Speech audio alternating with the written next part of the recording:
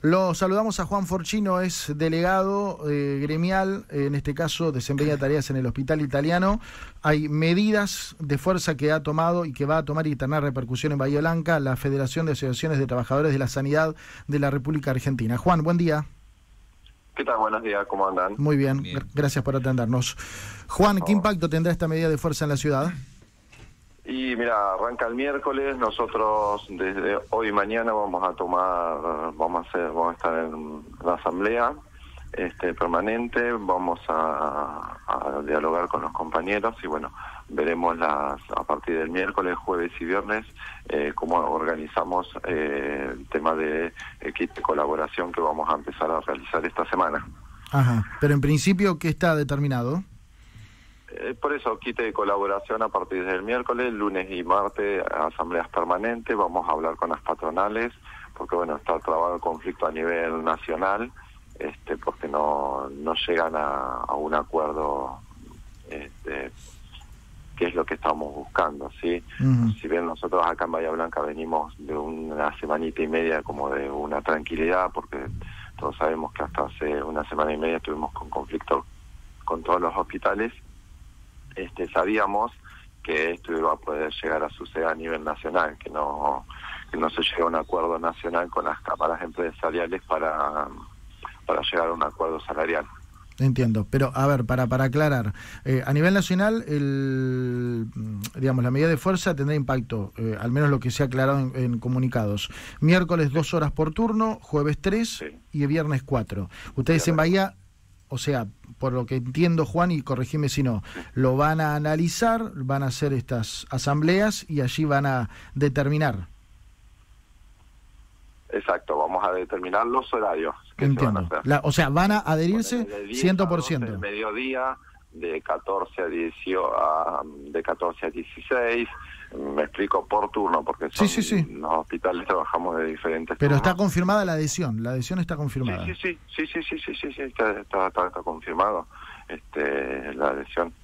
Así que no, no habría inconveniente. Tenemos que charlarlo con las patronales también, porque tenemos buen diálogo dentro de todo.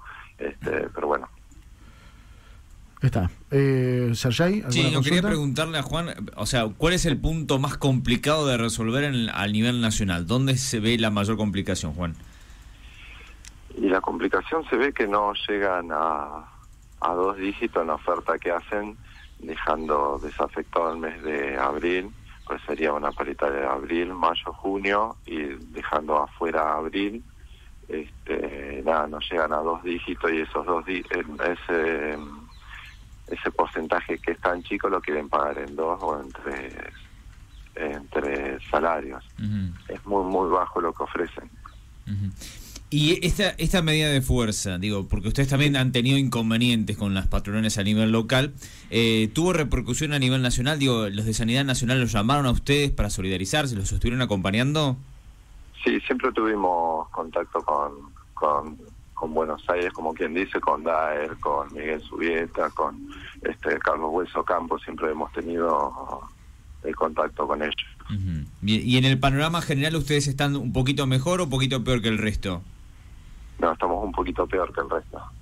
Este, son tres, cuatro lugares. Buenos Aires tenemos acá en Bahía Blanca, Santa Cruz y por ahí hay otro, creo que en Santa Fe, que son los tres lugares que están más complicados después el resto del país no hubo inconveniente. ¿El panorama en Bahía, Juan, lo definís como una tensa calma?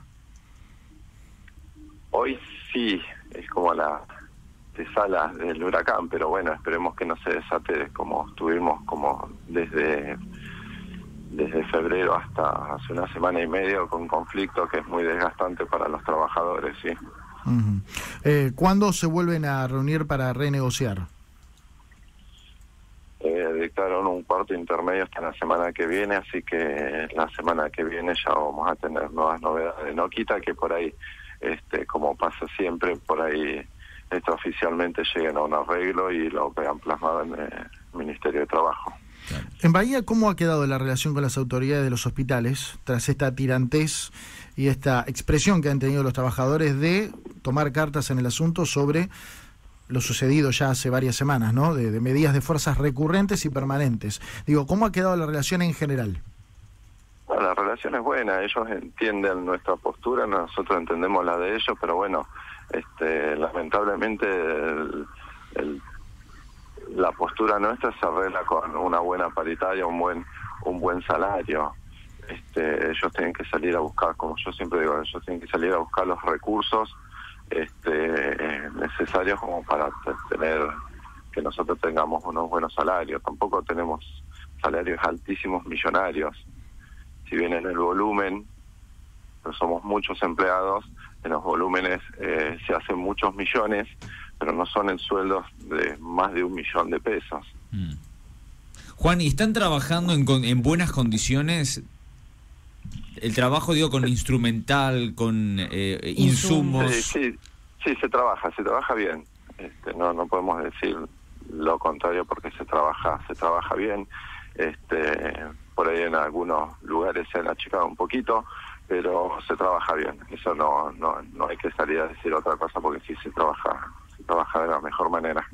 Hablando de achicar, eh, Juan, Juan Forchino habla con nosotros, es delegado gremial del Hospital Italiano, representación de, eh, de los trabajadores que desempeñan tareas en la sanidad. Juan, ¿hubo trabajadores que en este último tiempo han decidido dar un paso al costado, este, retirarse, eh, no que sean cesanteados, eh, ojo, digo, este, dejar de lado su tarea profesional a raíz de, del escaso aporte que cobraban y tal vez buscar otro destino?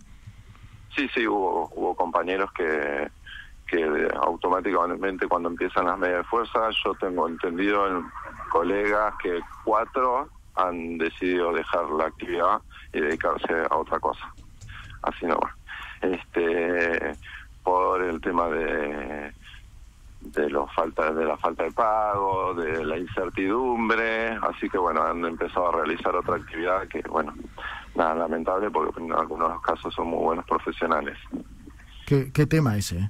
Es, digo, ante el faltante de profesionales, ya hay una carencia. Si le sumamos que muchos de ellos ya tiran la toalla y se van y se dedican a otra cosa y son profesionales, estudiaron para eso, es doblemente doloroso. Sí, porque tampoco es que, a ver, eh, sin merecer ninguna profesión, eh, profesionales de salud, chicos que, que salen de la universidad o de un instituto terciario, que estén cobrando los salarios que, que cobramos es muy, muy bajo este, que, que, esto viene de larga data, una decida de larga data. Pero bueno, nada, eh, ya te digo, no tenemos sueldos millonarios este, como para poder decir, bueno, este, las patronales no encuentran el recurso, ¿sí? Somos salarios muy bajos, vos te imaginas que hoy está en bolsillo un enfermero, si acá en Bahía si se arregla, si se arreglaría la paritaria, porque venimos con paritaria vencida, con un acuerdo en el Ministerio de Trabajo, eh, 481 mil pesos, tampoco de bolsillo, tampoco es, es gran salario. No, claro. Eh, Juan, eh, ¿vos hace cuánto tiempo que trabajás en salud y cuándo fue la última vez que vivenciaste alguna situación similar a esta? Yo 17 años hace que estoy en salud. Este, esta es la primera vez que me toca a mí este, afrontar una situación tan compleja. Eh, nosotros en pandemia tuvimos un chisporroteo, pero se, se resolvió enseguidita. Tuvimos que hacer, imaginar, tuvimos que hacer medidas de fuerza en pandemia, mm. cuando éramos esenciales, todo el mundo nos aplaudía. Tuvimos que hacer una medida de fuerza este para que nos aumenten el, salario, ¿sí? Mm. Vamos a ver cómo sucede y cómo transcurre todo. En principio, Juan, confirmada entonces las medidas de fuerzas miércoles, jueves, viernes. Eh, y eh, en la asamblea eh, se va a determinar entre hoy y mañana los horarios de los turnos a, digamos, a tomarse o llevarse adelante las medidas de fuerza. Exacto, correcto. Sí, sí, a partir de, hoy ya tomamos, ya iremos avisando los horarios del kit de colaboración. Gracias por atendernos, muy amable. No, por favor, que tenga buen día. Juan Forchino es delegado gremial del Hospital Italiano, representación de ATSA también.